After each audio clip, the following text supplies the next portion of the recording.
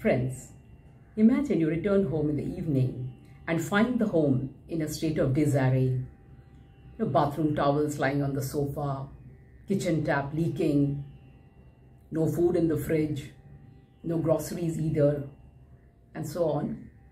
How would you feel? Irritated, upset, or maybe even a bit angry? Because to do any work or even to rest, we need a home to be functional and well kept. And who does this work? From the beginning of human civilization, this very important work of keeping a home has been assigned to women. In Sanskrit, the word for homemaker is grihini, a woman who maintains and makes the home. The griha, the home where not just charity, everything begins. Art, literature, scientific inventions, business ideas, everything starts from home because that is where we are nurtured to stand up as responsible humans and to contribute to society. I think this role, you know, of a this homemaker has been assigned to women by nature herself. When nature chose the woman and not the man to bear life. When she decided that a woman would home the embryo and grow the embryo within her own body.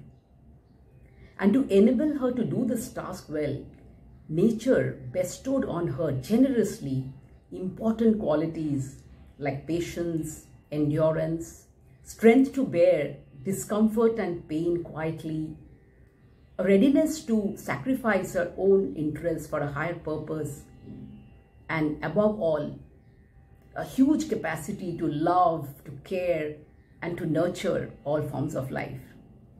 And all these qualities go to make her an ideal homemaker. For homemaking, as we all know, is not an easy job. It's almost like running a small company. You have to fix budgets, plan at least three meals a day, and special meals for special days. You have to keep taking stock of the inventory and replenishing it whenever necessary. And above all, you have to ensure that the people at home are feeling comfortable, happy, cherished, loved, because the home is one place where we expect unconditional love and acceptance. And this is what the homemaker extends to all. I remember in my growing up years how my mother would fuss over any person in the family if the person was upset and would not rest till total harmony had been re-established. And she did not have to go to any management schools to acquire these managerial skills. For centuries, women have been managing big households with ease because nature has given them natural managerial skills and high emotional intelligence. All this is not to say that a woman cannot and should not do anything apart from running a home. No. She is Shakti. She has enormous power. She can be anything she chooses to be. And history has shown us that when needed, a woman can take over the reins of a kingdom like Ahilyabai Holkar of Indore did in the mid 18th century, or even take up arms like Rani Lakshmibai did. And today, a woman can be an actor, teacher, software engineer, corporate manager, musician, even a pilot. But whatever career she chooses, careers which require her to be away from home for considerable periods of time, she always remains concerned about things back at home and is careful to put in place systems so that the home runs smoothly even in her absence. In my last job uh, with a corporate, I saw how young mothers would keep calling back home to find out how their little ones or some ailing member in the family was doing. Because to nurture life, is the driving force of every woman. She can develop other identities. Everyone can have multiple identities. So she can take on the identity of a teacher, a doctor, an actor, but she never sheds her identity as a homemaker.